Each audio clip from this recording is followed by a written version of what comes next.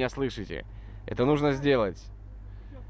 Отметим э, инстаграм-страницу 433, скажем, а, в Казахстане появился свой Диего Армандо Марадона. Здесь, конечно... Это лже Айдынов Селим. Да, 3-0.